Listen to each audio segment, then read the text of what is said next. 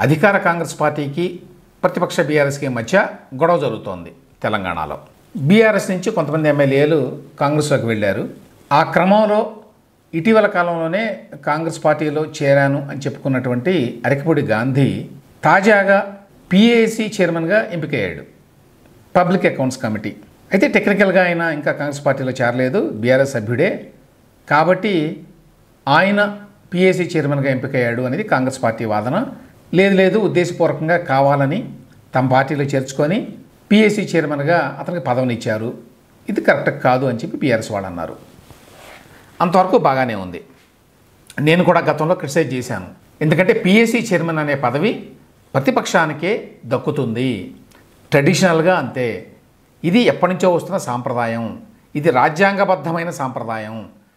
కాబట్టి ఇప్పుడు కాంగ్రెస్ పార్టీ రేవంత్ రెడ్డి గారు ఇట్లా చేయడం కరెక్ట్ కాదు అనేది నా అభిప్రాయం కూడా. ఈ వ్యవహారం మీద బీఆర్ఎస్ కాంగ్రెస్ పార్టీ వాళ్ళు తనుకుంటున్నారు బాగానే ఉంది. అయితే ఇందులో ఏమి సంబంధం లేకుండా ఆంధ్ర యాంగిల్ వచ్చింది. బీఆర్ఎస్కి ఏమిటంటే ఎంత ఇన్సెక్యూర్ పార్టీ అంటే ఆ పార్టీ ఏమాత్రం అవకాశం ఉన్నా ఇందులో ఆంధ్ర యాంగిలే ఉన్నది. ఆంధ్ర వాళ్ళని ఎట్లా ఇందులోకి తీసుకురావాలి డ్రాగ్ చేయాలి వాళ్ళ పేరు చెప్పి ఎట్లా దండుకోవాలి ఓట్లు తెలంగాణలో అనే ప్రయత్నం చేస్తూ ఉంటుంది. నమస్తే తెలంగాణలో హెడ్లైన్ ఏంటో తెలుసండి? హైదరాబాదులో ఆంధ్ర ఫ్యాక్షనిజం. అసలు నిన్న జరిగిన ఘటనలకి ఆంధ్రాకి ఏ రకమైన సంబంధం ఉంది? నిన్న కౌశిక్ రెడ్డి ఇంటికి అరకిపూడి గాంధీ వెళ్ళాడు తన అనుచరులతోటి. వాళ్ళిద్దరి మధ్య ఏదో సవాళ్ళు ప్రతి సవాళ్ళు అయినాయి. అది కాంగ్రెస్ పార్టీకి బీఆర్ఎస్ పార్టీకి మధ్య ఉన్నటువంటి గొడవ. లేదు కాంగ్రెస్ పార్టీ వాళ్ళ లెక్క ప్రకారం అయితే ఇంటర్నల్గా బీఆర్ఎస్ వాళ్ళ మధ్య ఉన్న గొడవ. ఏదేమైనప్పటికీ దీనికి ఆంధ్ర వాళ్ళకి ఎటువంటి సంబంధం లేదు. అసలు ఆంధ్రప్రదేశ్కి అసలే సంబంధం లేదు. తెలంగాణలో ఉన్న హైదరాబాదులో ఉన్న ఆంధ్ర వాళ్ళకి బొత్తిగా సంబంధం లేదు. కానీ వీళ్ళు పెట్టినటువంటి హెడ్లైన్ ఏంటి? హైదరాబాద్లో ఆంధ్ర ఫ్యాక్షనిజం. కానీ లోపల ఐటెంలు ఎక్కడా కూడా ఆంధ్ర అనే పదం మళ్ళీ వాళ్ళ. ఎందుకంటే ఆంధ్రాకి ఏ రకమైన సంబంధం ఉంది ఇందులో? దీంతో పాటు కౌశిక్ రెడ్డి కూడా నిన్న కొన్ని టీవీ ఛానల్స్తో మాట్లాడేటప్పుడు నోరు జారాడు. తెలంగాణ బిడ్డలం ఆంధ్ర వాళ్ళు దాడి చేస్తే ఊరుకుంటామా? తెలంగాణ పవర్ ఏంటో రేపు చూపిస్తామంటే ఇవాళ చూపిస్తాం అని చెప్పి సవాల్ చేసేట వాళ్ళు వాళ్ళు సవాలు చేసుకోవచ్చు పొలిటికల్గా అది వాళ్ళ గొడవ.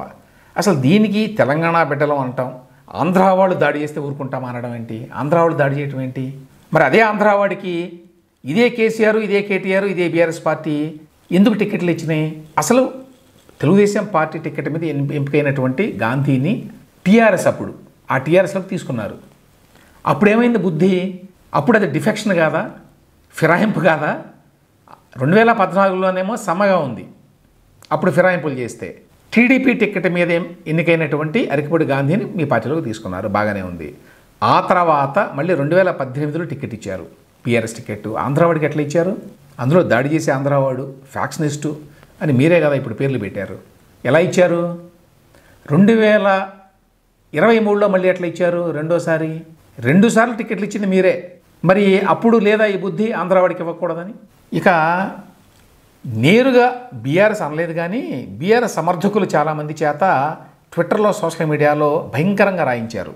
తెలంగాణ గడ్డ మీద తెలంగాణ ఎమ్మెల్యే ఇంటిపై దాడి. దాడి చేసింది ఆంధ్ర సెటిలర్ ఎమ్మెల్యే ఆయన గుండాలు. తెలంగాణ వచ్చినాక పదేళ్ళు కుక్కిన పేను లెక్క ఉన్న ఆంధ్ర సెటిలర్లు నేడు దాడులకు తెగబడేదాకా వచ్చారంటే పరిస్థితి ఎందాక వచ్చిందో అర్థం చేసుకోవచ్చు. ఇంకెవరో? తెలంగాణ రెడ్డి బిడ్డ మీద ఆంధ్ర కమ్మ కుక్కలు దాడి. చంద్రబాబు అండదండలు చూసుకొని ఎగురుతున్నారా? అసలు దీనికి చంద్రబాబు నాయుడికి ఏమైనా సంబంధం ఉందా? ఆ టీడీపీ నుంచే కదా బయటికి వెళ్ళిపోయి మీ పార్టీలో చేరాడు బీఆర్ఎస్లో టీఆర్ఎస్లో. అంటే ఏ చిల్లర స్థాయికి దిగిపోయిందో చూడండి. సరే వ్యక్తులు ఎవరో పెట్టారంటే వాళ్ళ మీద పార్టీల కంట్రోల్ ఉండకపోవచ్చు. అంతవరకు అండర్స్టాండబుల్ కానీ స్వయంగా బీఆర్ఎస్ పార్టీ ఈ విధంగా మాట్లాడడం బీఆర్ఎస్ పార్టీ సొంత పత్రిక అయినటువంటి నమస్తే తెలంగాణలో ఈ రకంగా హెడ్లైన్ పెట్టడం అల్టిమేట్లీ ఇది రాజకీయం. మీకు రాజకీయంగా గొడవలు ఉన్నాయి. మీకు ఇష్టమైతే ఇదే ఆంధ్రావాడు ఇదే సెటిలరు అని ఇప్పుడు మీరు అంటున్నటువంటి అరకపూడి గాంధీని మీ పార్టీలోకి తీసుకుంటారు. రెండుసార్లు టికెట్లు ఇస్తారు. అట్లాగే మరొక మరి ఎమ్మెల్యే ఆంధ్రావాడు అని మీరు ఎప్పుడైనా అనడానికి చాలా ఈజీ. మీ పార్టీలోనే ఉన్నాడు గోపీనాథ్. అతన్ని అంతే మీరు. టీడీపీ టికెట్ మీద గెలిస్తే తీసుకున్నారు. మళ్ళీ రెండుసార్లు టికెట్లు ఇచ్చారు. అంటే మీ దగ్గర ఉంటే ఆంధ్రావాడైనా ఫ్యాక్షనిస్ట్ అయినా దుర్మార్గుడైనా బ్రహ్మాండం. మీ పార్టీ నుంచి కాంగ్రెస్ పార్టీలోకో బీజేపీలోకో వెళితే మాత్రం వాళ్ళు దుర్మార్గులు వాళ్ళ ఆంధ్ర వాళ్ళు అయిపోతారు వెంటనే. వెంటనే వాళ్ళ ఐడెంటిటీ మారిపోతుంది అనమాట బీఆర్ఎస్ వాళ్ళు ఇప్పటికీ కూడా ఈ ఐడెంటిటీ పాలిటిక్స్ నుంచి బయటపడల అది వాళ్ళకి ఎంత నష్టం చేస్తుందో కూడా వాళ్ళకి అర్థం కావట్లా. ఇన్ఫ్యాక్ట్ ఈ యాంగిల్ కనుక ఇంకా బయటకు వచ్చి మీరు ఎక్కువగా ఆంధ్ర ఆంధ్ర అని చెప్పి తిడితే అరకిపూడి గాంధీని ఆంధ్ర వాళ్ళు ఎవరు అతను ఓన్ చేసుకుంటున్నారో లేదో తెలియదు. నిజానికి ఆంధ్ర వాళ్ళ వల్లే బీఆర్ఎస్కి మొన్నటి ఎన్నికలో కూడా బాగా సీట్లు వచ్చినాయి. హైదరాబాదులో చుట్టుపక్కల ఉన్న రంగారెడ్డి జిల్లాలని చెప్పి అందరూ అనుకుంటున్నారు. గతంలో కూడా ఎంసీహెచ్కి జరిగిన ఎన్నికల్లో బీఆర్ఎస్ బాగా గెలిచింది. అప్పుడు కూడా మరి స్వయంగా బీఆర్ఎస్ వాళ్ళే అన్నారు. ఆంధ్ర వాళ్ళంతా మాకు ఓట్లు వేశారు హైదరాబాద్లో అని. ఈ నేపథ్యంలో ఇప్పుడు మళ్ళీ స్థానిక సంస్థలకు ఎన్నికలు జరగబోతున్నాయి. ఇక్కడ కార్పొరేషన్కి ఎన్నికలు జరగబోతున్నాయి. ఈ రకమైన ప్రచారం కనుక చేసుకుంటే నష్టం బీఆర్ఎస్కే చివరికి.